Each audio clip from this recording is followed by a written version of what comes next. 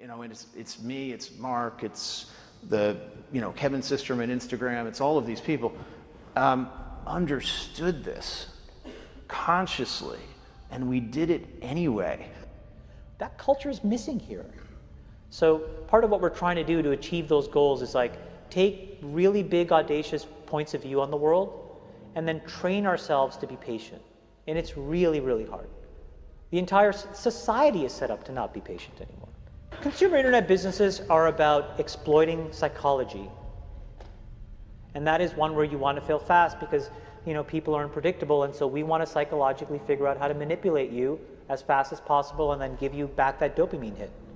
We did that at, brilliantly at Facebook. Instagram has done it, WhatsApp has done it, you know, Snapchat has done it, Twitter has done it. So there are great examples. WeChat is doing it.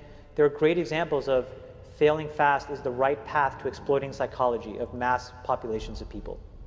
I feel tremendous guilt. Um, I think we, I think we all knew in the back of our minds, even though we feigned this whole line of like there probably aren't any really bad unintended consequences. I think in the back, deep, deep recesses of our minds, we, we kind of knew something bad could happen. But I think the way we defined it was not like this. Turn it off. That's what I would say. It's, it's, it's hard for young people now because they're hooked. They're addicted. If you don't think you're addicted, and I'm talking about anyone, from the highest to the lowest, if you don't think you're addicted, then see if you can turn it off for a week. It got quiet in here, didn't it? Didn't it get real quiet? It's a tool. So we should use it. God has blessed us with free will. Now it's free will magnified, free will on steroids. You're free to go in any direction you want. It will allow you, and it's not the enemy. It's just a it's it's just a reflection of our own free will. You know? and, and we all want to be liked. But now we want to be liked by 16 million. And will now some of us do anything to be liked. We we used to do anything to be liked but it was the, by the person in front of you. Now it's to be liked by 16 million people that you don't know. We have to ask ourselves, what is the long term, if not too, the short term effect of too much information?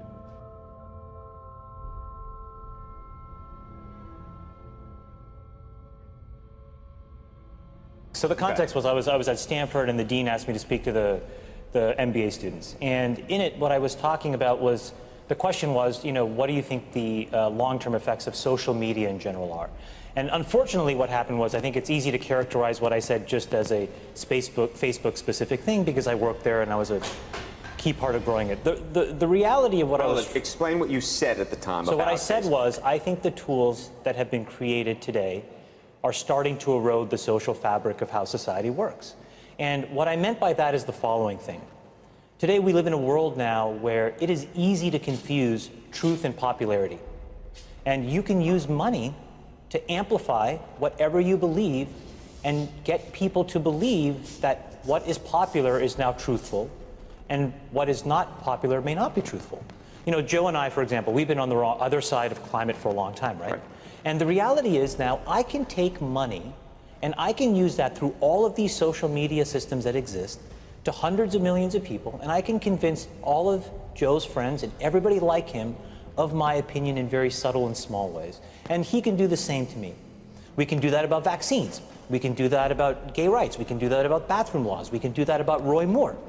And so I think the question we have to ask ourselves is how do we live in a world where this is now possible? And so it was about that, but just so I understand, it, was it because because I read uh, and watched parts of what you were talking about.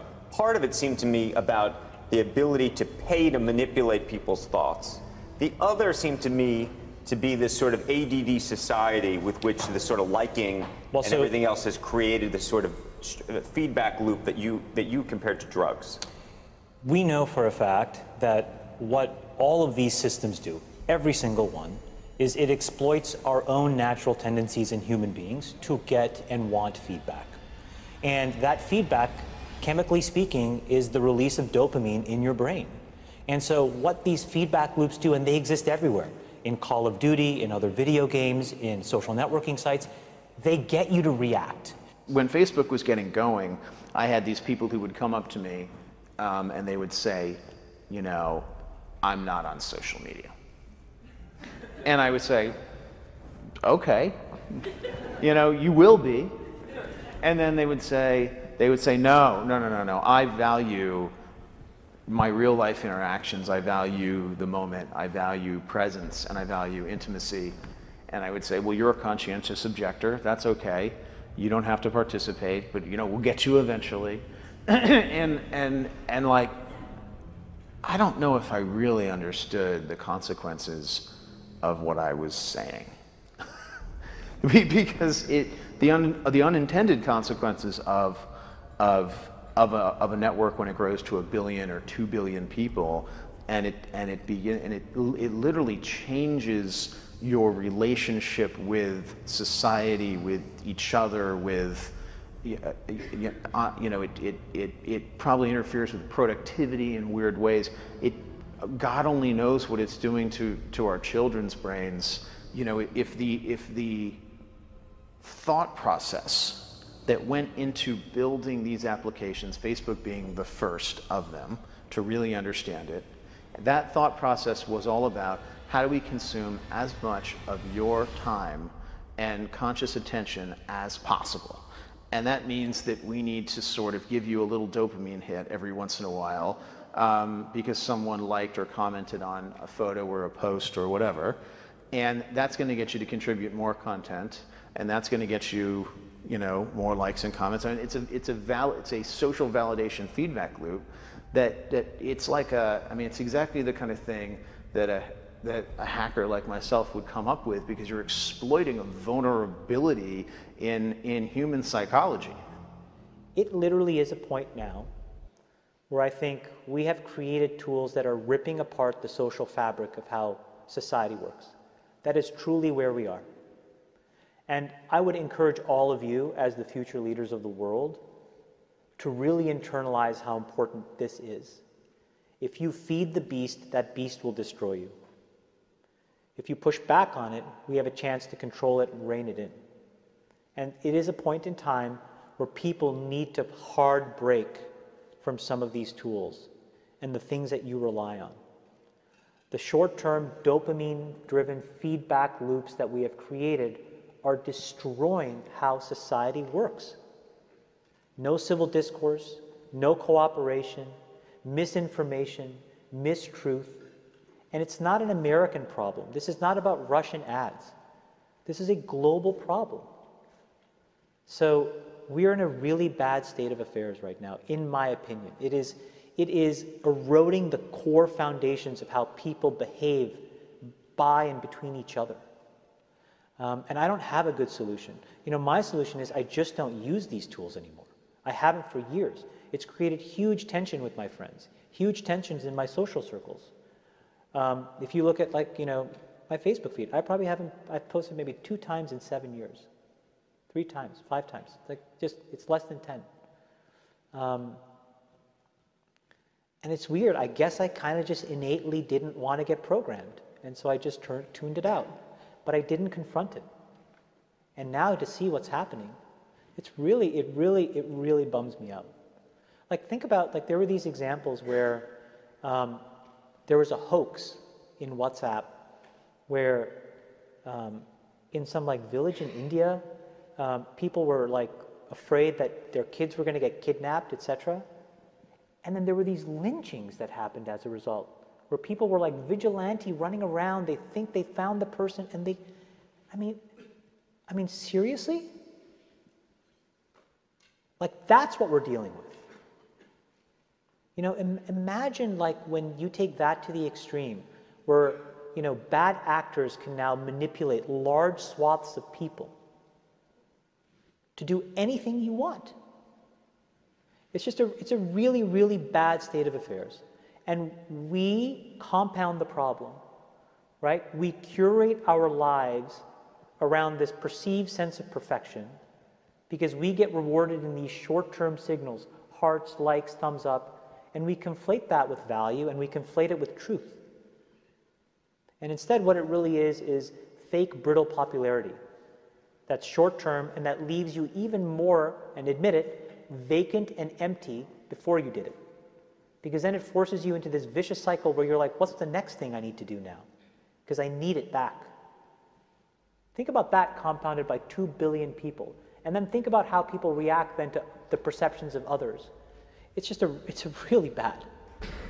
So you're training your brain here, whether you think it or not, whether you know it or not, whether you acknowledge it or not. Acknowledge that these things where you're spending hours a day are rewiring your psychology and physiology in a way that now you have to use to go and figure out how to be productive in the commercial world. So if you don't change this, you are going to get the same behaviors over here. Change this. There's a reason why Steve Jobs was like anti social media. I am telling you, I'm not on these fucking apps. I'm not him by any stretch of the imagination. But I am proactively trying to rewire my brain chemistry to not be short term focused. I'm telling you they're linked. And I think that if you get too desensitized and you need it over and over and over again, then you become actually detached from the world in which you live. You become callous, you become crude. And you live in front of your screen. But, but Chamath, let me ask you this, because the, the thing that I've been so concerned about is Facebook just announcing that you're going to be having some app that you can use when you're 7 to 13 I mean, it's one thing for us to be doing this, but to be uh, hooking your kids on something that you're describing as a dopamine fix at so, that age, that's crazy. So, look, I think in the case of Facebook specifically, I think they have probably done more than any other company, quite honestly, to try to fix it because of all of the companies, and I've seen them all up close. They're the most, frankly, to be very blunt and honest, the best run and the most technically sophisticated. But they're and, also they're also emailing me if I haven't logged onto Facebook for a while, saying, "Hey, did you see the post from so and so? Did you see the post from so and so?" Trying to lure you back in. And again, we can make those decisions as adults, yeah. but as as children, that is a different. Well, I think the product, and I don't know it quite honestly in as much detail as I should, but I think the way that that product works, because of privacy laws in the United States, you actually have to get parental permission. The point, though, is, and what you're bringing up is, I think, is the most important thing. We all have never taken a step back and actually asked ourselves how should we be interacting with these things now, seven years into it? And what should we be expecting of the internet at large? Look, the reality may be the entire business model of the internet may be fundamentally somewhat broken, right? Because we allow ourselves to get interacted with in ways where we don't necessarily control the medium or the messenger. And we are not putting up any barriers to ever give yourself any downtime from that either. Exactly. And so it may mean that we all collectively need to figure out, not just individuals, but also the companies, right. also governments, quite honestly, how different business models need to exist so that we can actually divorce ourselves from how so this what, stuff what goes on? Tonight, here a warning about Facebook and what some believe it's doing to kids. The warning comes from two of the company's earliest executives. Carter Evans is following this. We kind of knew something bad could happen. Chamath Palihapitiya, a former Facebook executive once in charge of user growth, now says he has tremendous guilt about the social network he helped build. We have created tools that are ripping apart the social fabric of how society works. And it's influencing the next generation.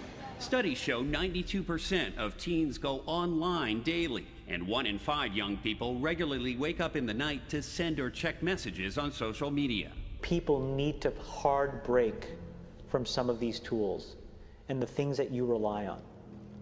The short term dopamine driven feedback loops that we have created are destroying how society works. No civil discourse, no cooperation, misinformation, mistruth. Bad actors can now manipulate large swaths of people to do anything you want. He's not the only social media executive blowing the whistle. Former Facebook President Sean Parker recently said the initial goal was to get people hooked. You're exploiting a vulnerability in, in human psychology. The inventors, creators understood this consciously and we did it anyway. We have to hold the tech industry accountable. Jim Steyer is founder of Common Sense Media. They, in many cases, have ignored the consequences, some of the downsides of some of the innovations they brought to our society. You don't realize it, but you are being programmed. It was unintentional, but now you got to decide how much you're willing to give up. When Facebook was getting going, I had these people who would come up to me um, and they would say, you know, I'm not on social media. And I would say, okay, you know, you will be.